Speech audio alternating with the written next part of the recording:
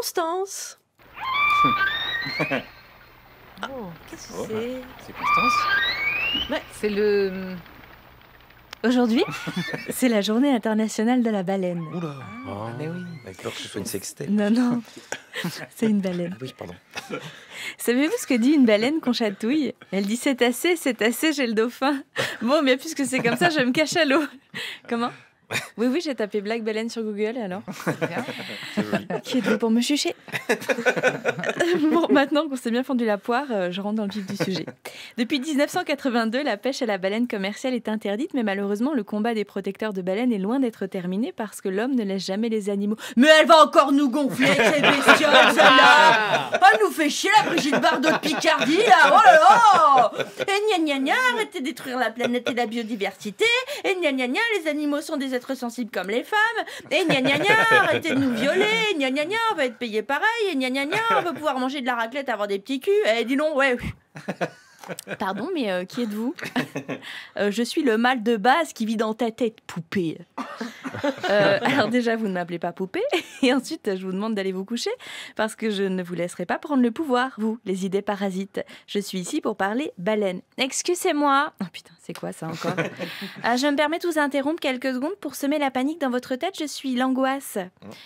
Allez-y, mais vite fait, parce que j'ai une chronique à faire. Ok, je me dépêche, comme Michel. Michel Delpech. ok.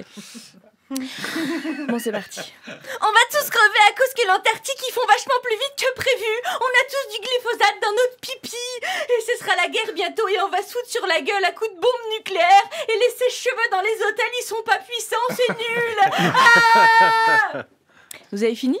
Oui, merci. Ah non, pardon, il me reste encore un petit peu. Comment qu'on va faire quand Cyril Hanouna sera devenu président de la République? Ah Voilà, j'ai fini.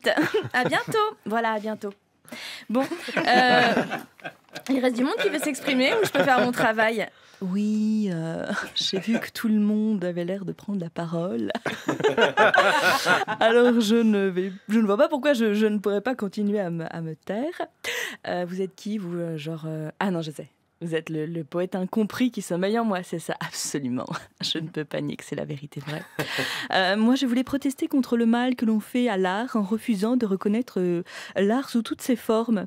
Ainsi, euh, pour croiser mon intervention avec le sujet de votre chronique, je suis outrée que le chant de la baleine ne figure jamais dans les émissions télévisées telles que La Nouvelle Star ou Incroyable Talent, et je n'ai pas peur de taxer les sociétés actuelles de baleineophobes.